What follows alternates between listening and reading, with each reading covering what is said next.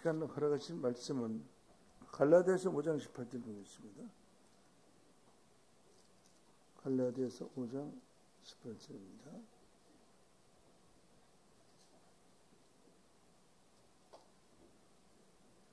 너희가 만일 성령의 인도하시는 바가 되면 율법 아래 있지 아니하리라.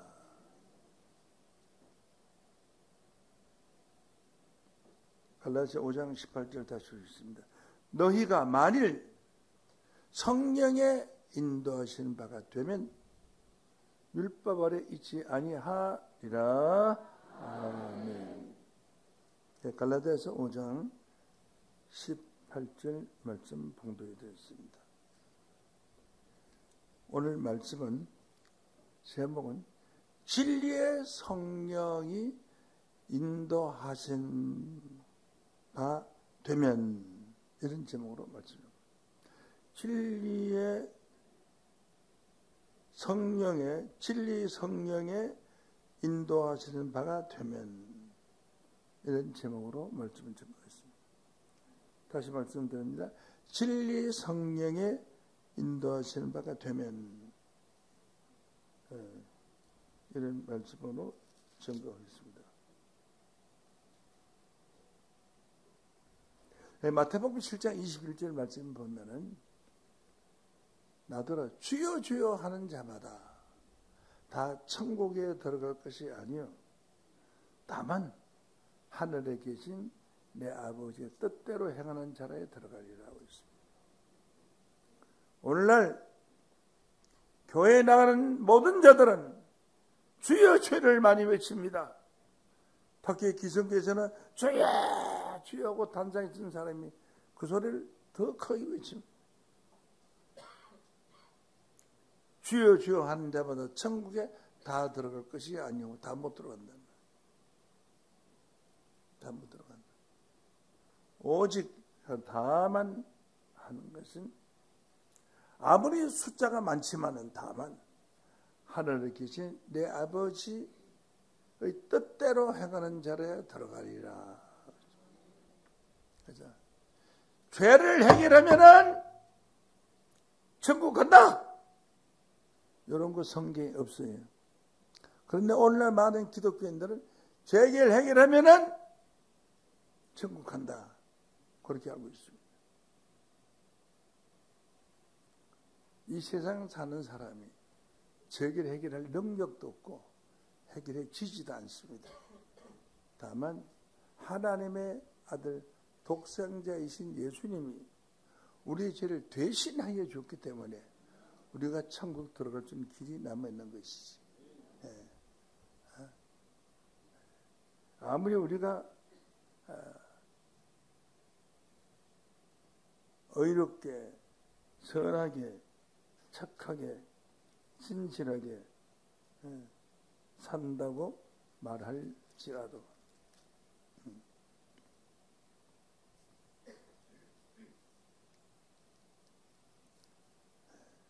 우리의 행위로서는 구원받을 자가 단 한 명도 없습니다. 그래서 주여 주여 한 자마다 천국이 다 들어가는 것이 아니라 하나님의 뜻대로 행하는 자라야 들어가리라 라고 한 것은 하나님의 뜻을 알아야 뜻대로 행하든지 말든지 할 게 아닙니까?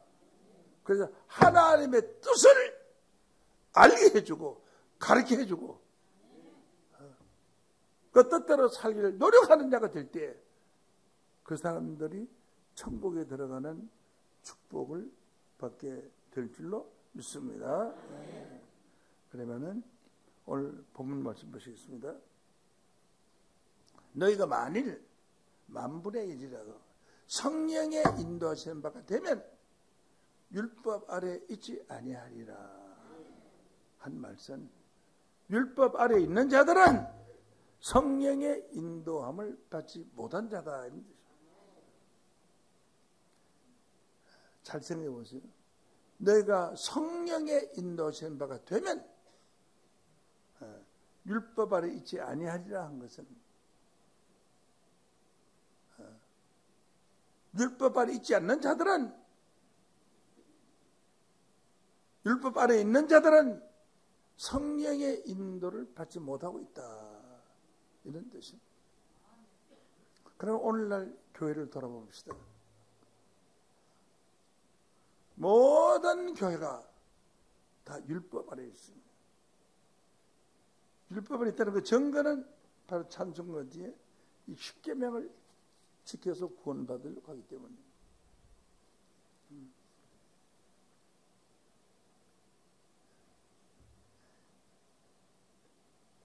너희가 만일 성령의 인도하시는 바가 되면 율법 아래 있지 아니하리라. 성령의 인도하신 바가 안 되면은 율법 아래 있는 자다 이런 뜻입니다. 오늘날 각 교회에서 전 세계 교회에서 율법을 벗어난 신앙생활을 하는 사람 없습니다. 전부가 율법 아래 있습니다. 율법 아래 있는 자들은 성령의 인도를 받지 못하고 있는 자. 어?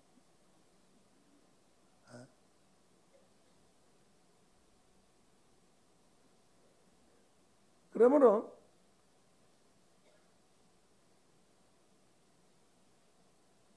성령의 인도를 받는 자들은 율법에서 벗어난 자가 되어야 성령의 인도함을 받는 자가 되는 것입니다.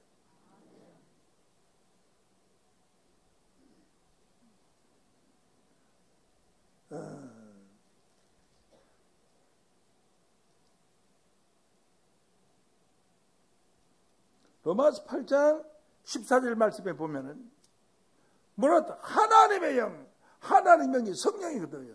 하나님의 영으로 인도을 받는 그들은 곧 하나님의 아들이라.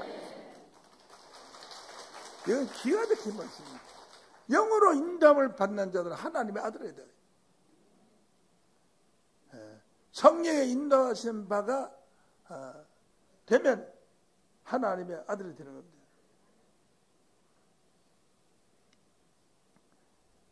그러면 성령의 인도하신 바가 되지 아니하면은 하나님 아들이 될 수 없다 이런 뜻입니다. 오늘 이 한 말씀으로도 우리는 이 세상과 다른 오늘날 기독교와 다른 참 하나님을 믿는 자로 인도함을 받을 수 있습니다.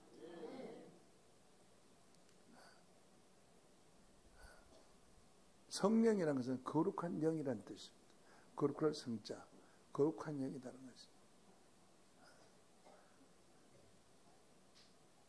너희가 만일 성령의 인도하심을 바가 되면 율법발이 있지 아니하리라. 성령의 인도하신 바가 되면 네가 하나님의 아들이라.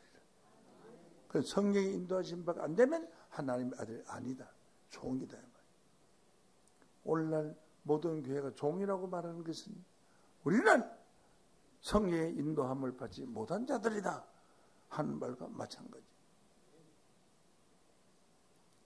그래서 이것이 하나님의 뜻입니다. 주여 주여 하는 데마다 천국에 다 들어갈 것이 아니라 하나님 뜻대로 행하는 자라에 들어가리라. 하나님 뜻이 무슨 걸 알아야 뜻대로 행하든지 말든지 할 거 아니겠어요?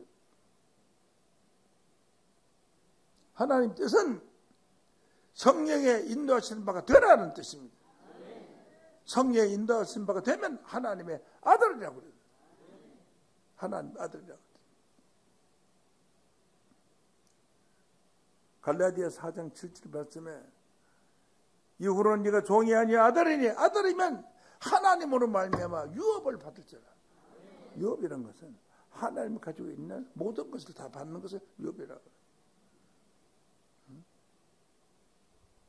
아버지 유, 아버지의 유업을 받는 것은 아버지가 가지고 있는 재산뿐만 아니라 어, 정신적인 지적인 모든 분야까지 다 이어받는 것을 유업이라고 합니다.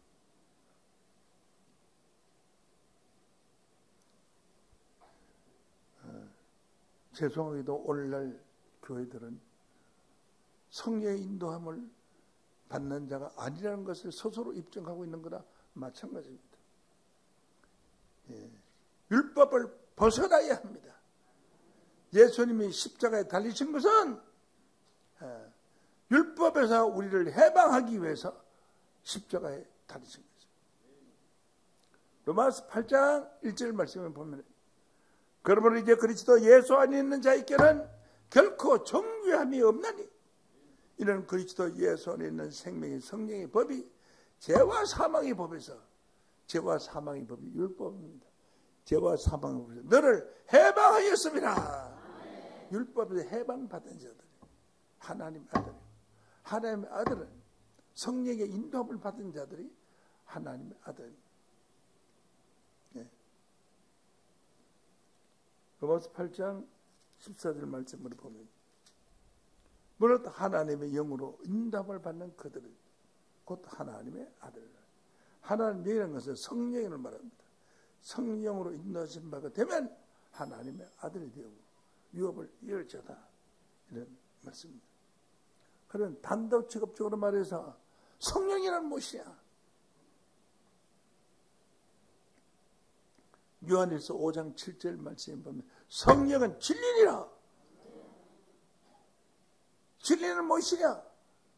요한복음 17장 17절 말씀에 보면 저희를 진리로 거룩하게 없어서 아버지의 말씀은 진리니 그렇다면 성령의 인담을 받는다는 것은 성령은 진리라고 진리는 말씀이라고 하니까 하나님의 말씀으로 인담을 받는 그들이 곧 하나님의 뜻대로 사는 자들입니다. 하나님의 말씀으로 인도함을 받으려고 교회 나왔는데 자기 감정 이야기하고 여기에 갔다 이야기하고 자기 집안 이야기하고 자기 학교 다닐 때 이야기하고 출제했던 이야기하고 세상 이야기하고 세상 간장 갖다 시키고 하나님 말씀 아닙니다. 성령의 인도함을 받으려 하나님의 말씀으로 인도함을 받는 그들은 곧 하나님의 아들입니다. 아들에 대해 유업을 받을 게 천국을 유산으로 받을 게 아니겠습니까? 그러면 성령은 어, 크게 나누 여러 가지 신이 하나님 신도 지혜의 신, 모래의 신, 총령의 신, 지식의 신, 여호를 경외하는 신 이렇게 신들도 많이 있어요. 다 하나님 신입니다. 그러나 크게 세 가지로 나눌 수가 있습니다. 예수님은 비둘기 같은 성령을 받으셨어요. 요한복음 3장 16절 말씀 보면 예수께서 세상을 이처럼 사랑하사 독생자를 주셨으니 이는 저를 믿는 자마다 멸망치 않게 하렵니다. 이 독생자이신 하나님 아들 예수님 잉태부터 성령으로 잉태됐어요. 성령으로 잉태돼. 성령의 사 예.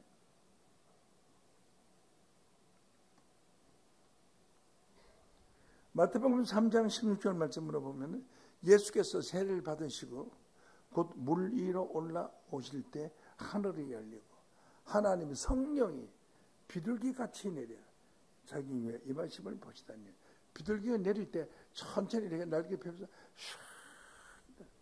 사뿐히 내립니다. 마찬가지로 성령이 그렇게 사뿐히 여러분의 마음속에 내립니다. 그 임하심이 보이더니 성령의 임하심은 마치 안개같이 보이기 때문에 영안이 열린 사람은 볼 수가 있어요. 안개같이 이렇게 싹 해서 흘러서 그 물줄기가 이렇게 쏟아지 이렇게 큰, 큰 안개 모여서 점점 초조해져서 초조해져서 때 머리 위에 임하는 거니까.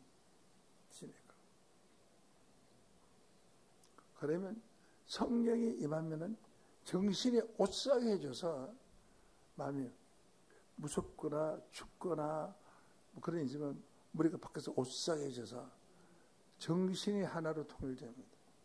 그때에 하나님의 말씀이 임하고 영으로 소리가 들린다든지 또한 하나님께 뜨거운 불을 준다든지 그런 아, 불 같은 성령의 시에는 여러분 받아 보셨겠지만은 덩어리에 무슨 햇빛이 쫙 비치는 것 같아요. 그러면 그 부분이 덩어리 어깨나 이런 부분이 따끈따끈해요. 아주. 진짜 뜨끈뜨끈하다고요. 실내 안에서 햇빛도 없는데 그런 성령이 임할 그런 아주 뜨거운 성령이 따끈따끈한 성령. 이 말이 몸을 몸을 찢어버려 그냥 찢어버려. 어, 비둘 같은 성령이 이 말씀을 보시더니 하늘로서 소리가 있어 말씀하시되 이는 내 사랑은 아주 내 기뻐하는 자라 하시니라.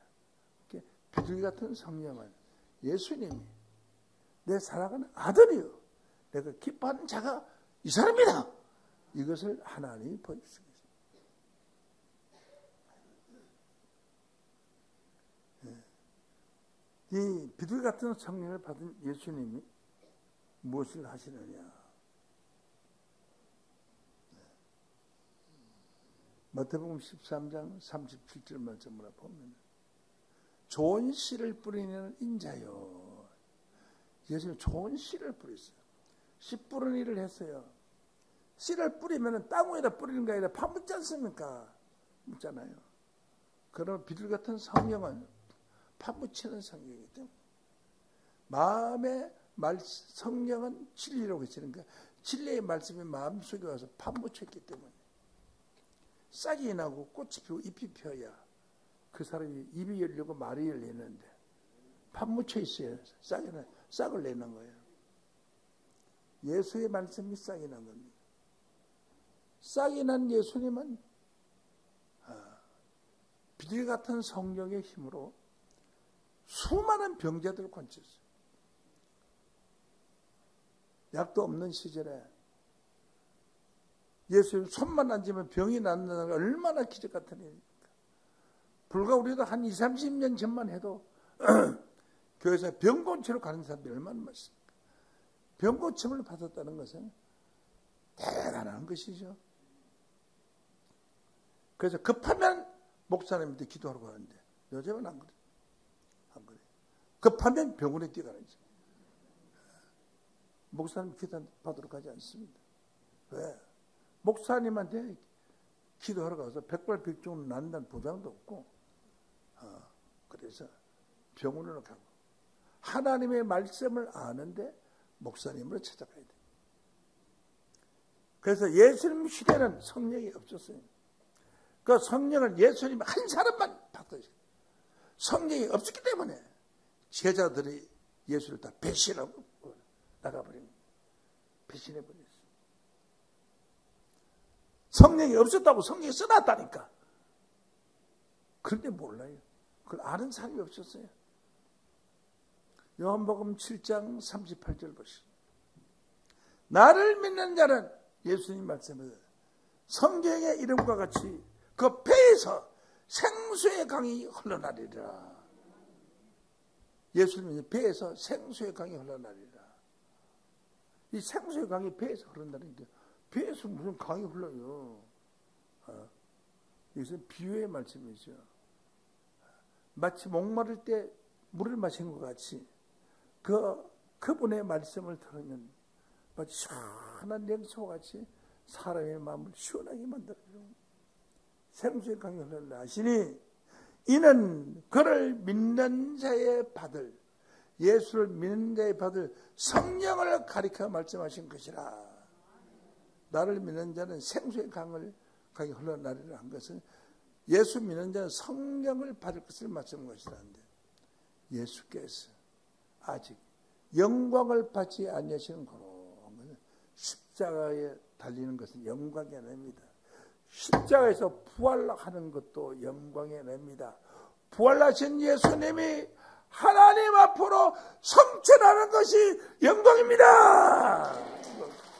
영광이 아닙니다.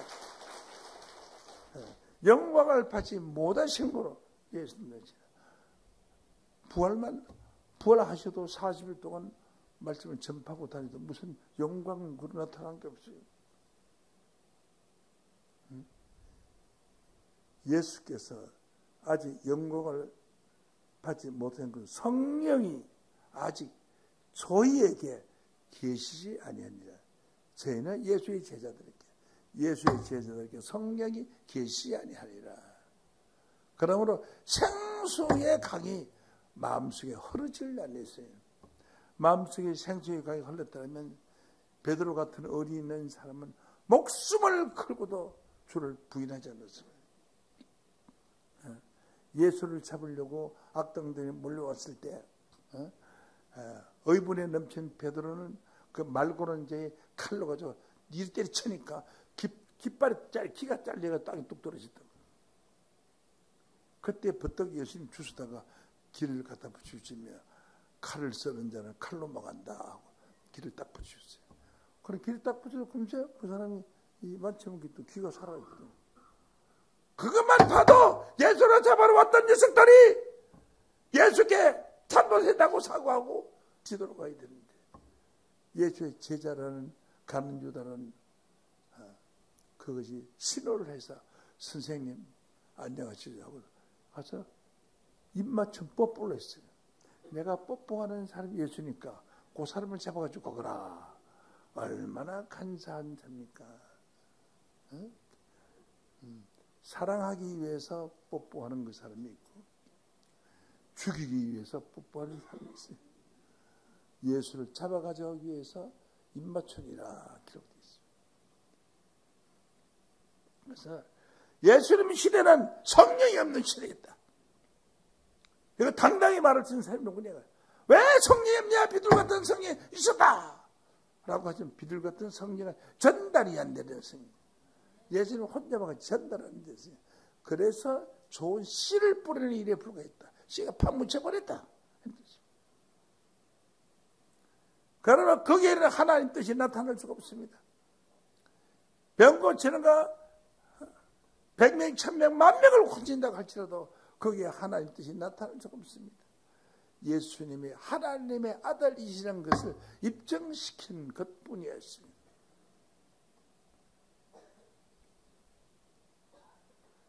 자, 이제는 어, 비둘 같은 성령이 역사가 예수님 시대로 끝이래요.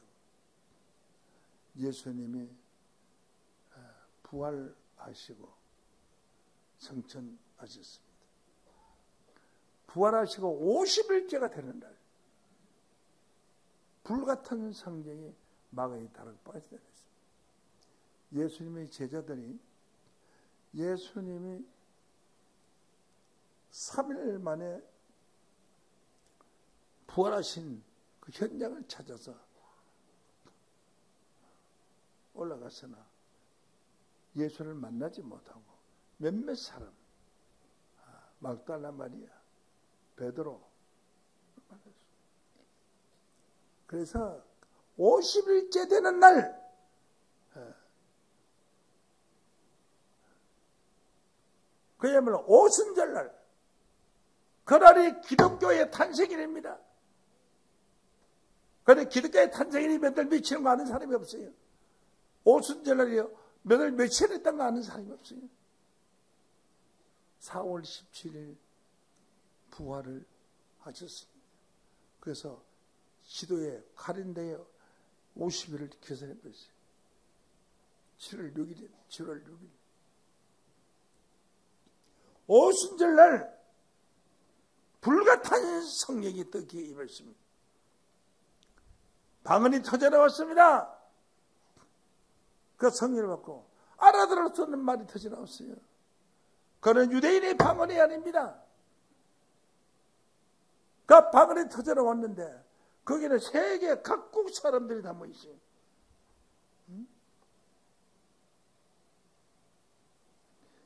사도행전 2장 5절 말씀을 보면은 그때 경건한 유대인이 천하 각국으로부터 예루살렘에 오고 천하 각국이니까 땅 아래 있는 모든 각 나라 사람이 다 오고 하더니 이 소리가 나며 큰 무리가 모여 각각 자기 방으로 제자들의 말한 것을 듣고 소동하여.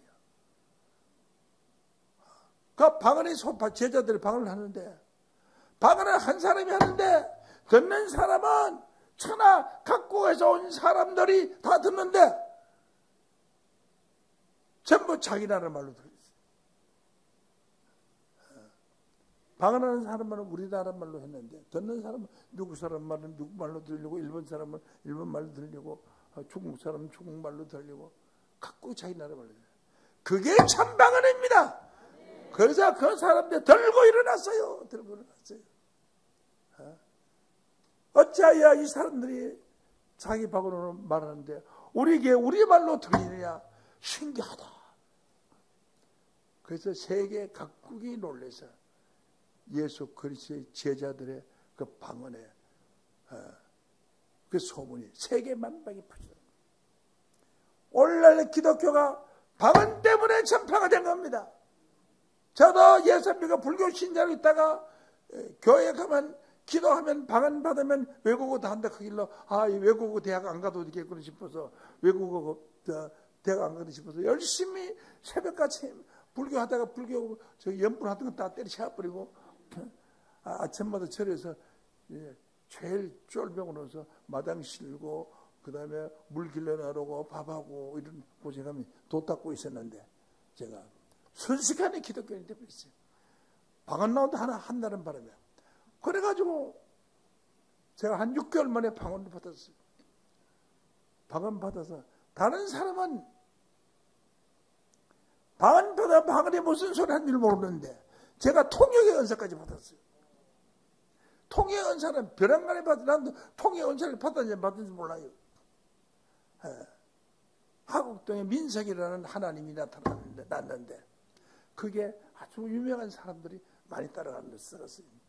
그 제자들이 예, 대학 교수, 국회의원, 큰 회사 사장 이런 사람들이에요. 그 사람들 전도하려고 그게 내가 갔어요. 갔는데 그 사람들이 남자 하나 여자 하나 들고 나하고 셋이 갔는데 모이는 장소에서. 오니까 그 사람이 오니까 전부 차례 따서 딱 일어서더니 차례에서 딱 가더니 똑같이 하나 둘셋 하지도 않는데 똑같이 인사를 경리를 차가더라고요 그 사람은 가만히 있어서 이차 차고 미친 게 아니라 여기서 무슨 깡패 집단이야. 영화에 보는 거 똑같 똑같아요 그렇게 생각하고 있었더니. 나를 보고 하는 말이 자네는 누군가? 그래요 초면에 어이가 없잖아요 나도 성인인데 아 그래 자네라니 자네는 누군가? 나도 그랬을 거야. 그런데 말하기를 나는 1억 년 전에 하나님께서 멜기세덱이라고 하는 자니라. 어찌 담, 어찌 그리 말할 죽겠어요? 천만 원 사람인데. 누구십니까? 물어보면, 아, 어때? 초면에 만난 사람 보고 자네는 누군가 하래요. 그런 말 하죠. 짝 있는 녀석이에요. 아, 그래서 내가 화가 나고 있는데 옆에 있는 사람이 방언이 터져가지고 막 손가락질면서 막 썰어서 방언을 하는데 적과 8번 사기꾼 도둑놈 뭐, 뭐 8번 죄를 다 지적했어요. 내가 막 총격을 해버렸어요. 그 죄자들 놀래가지고요. 하나는 막 방언으로 말을 하고 나는 현재 통역을 하고 이러니까 막 놀래가지고 다 해버려요. 그 이사람이 뭐 지주도 가만히 있는 거예요. 당신이 재림주로 왔다면 재림주로 나온 자가 나온 자는 성경에 멸망의 아들이 나타나 예수가 온다. 멸망의 아들이 누구야? 나타났어? 아무 대답 그래요. 나는 붙들고 막 집으로 돌아가라고 막 그랬죠. 그러면 내가 나중에 가겠다고 했어요. 거기서 교인 서너 명을 뺏어온 거예요. 재림주한테. 그래서 교회가 일어났어요. 그 사람들이 교회를 만들어주고 나는 가정예배 보고 있었어요. 가정예배. 가정 예배 보면서 아유 어쩌면은 나도 좀 집이라 좀 큰 집 하나 우리 교인 들어와서 마루방에 앉아서 많은 사람 예배나 볼고 하고 했는데 그 사람 들어도 자기 집 이렇게 가고 놓고 뭐그 저게 그 음? 마루가 뭐 큼직한 마루 방방 방만한 마루가 있더라고.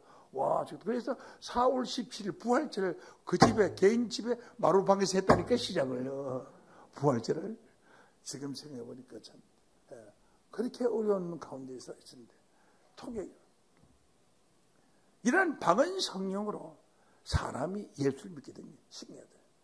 나도 방송 보면 그냥 쫄그러니까 혀만 움직이면 방언이 저절로 줄줄줄 나와요. 줄줄 나와요. 이 방언이 예. 전 세계 기독교에 흘러서 방언 성령이 받은 사람들이 예수를 믿게 되는 원래 이렇게 퍼져갑니다. 그래서 어, 불같은 성령은 신앙을 자라게 하는 신앙이다. 제가 그 방언 성령을 보고 신앙이 자랐어요. 야 하나님 신이 참 있구나 그런 생각이 들었어요. 신앙생활. 여러분들 이중에 방언 받은 분들 많이 있을 거예요. 있을 거예요. 그 자라게 하는 시간. 자라게 하면 뭐합니까? 열매를 맺어야죠. 응? 열매를 맺는 성령이 진리의 성령입니다. 어떻게 진리의 성이야? 성령은 진리라 그죠? 열매를 안 맺으면 죽은 한 번은 마찬가지요. 꽃 피고요. 꽃이 피어도 소용이 없고 잎이 나도 소용이 없고 귀가 자도 소용이 없어요. 열매 없는 나무를 베어버리는 겁니다. 그래서 성령은 진리라. 성령은 진리라. 요한일서 5장 7절에 성령은 진리라. 나를 믿는 자는 어, 뱃속에 생수 같은 성령이 흘러나리라고 하죠. 성령은 진리라고 했지. 성령은 진리 거꾸로 말하면 뭐예요? 진리의 성령. 할렐루야? 이 진리의 성령. 진리라는 것은 하나님의 요한복음 10장 10절 말씀이 진리라고 했으니까 진리의 성령을 받으면은 받으면 하나님을 아는 거예요. 예수를 아는 거예요. 예수님이 진리입니다. 요한복음 14장 6절을 보면 내가 길이요 진리요 생명이라. 예수가 길이요 진리라고 그랬잖아요. 진리. 예수님이 진리요. 예수님이 성령이 진리의 성령이야. 그래서 진리의 성령을 받으면 어떤 일이 지냐. 요한복음 16장 13절 말씀으로 보면 진리의 성령이 오시면 그가 너희를 모든 진리 가운데로 인도하시리니 모든 진리는 기독교뿐만 아니라 유교, 불교 뭐 다 할 것 없어요. 모든 진리예요. 제가 이 목회하기 전에 한국의 도인협회 부회장을 했어요. 도인협회 회장이 박정희 대통령 밑에서 법무부장 같은 사람이고 나는 그 부회장을 했는데 했는데 대전에서 도인대회를 했어요. 도인들을 했는데 한국 도인, 불교, 어, 기독교 도인, 인도 도인, 아, 기독교 도인 놓고요. 한국 도인, 저기 인도 도인, 그 다음에 중국 도인, 그 다음에 또뭐 사개국 도인 뭐, 뭐 있습니다. 한 뭐 한 100명 이상 이렇게 막 엄청난 기도원 같은 데다 막 부인을 하는데 각자 자기 도를 전거하는 거예요. 예. 그래서 내가 다 참석해 봤어요. 이거 무슨 미친 소리 하니까 각 도면 다, 다 참석했어요. 딴 사람, 딴 사람은 자기 주장만 하는 거지, 뭐. 딴건 참여하는 다. 그래서 그 도인들이 말을 하면은 당신이 말하는 말이 비슷한 것이 성경 몇 장 몇절 했는데 이래서 이런 뜻이다. 당신 잘못했다! 막 돌아다니는데 그렇게 했어요. 그러니까 이 도인들이 전부 내 방에 와서 막 부지부지부지 해요, 사람들이. 다른 사람 방에는 내 방에 부지부지 그래요.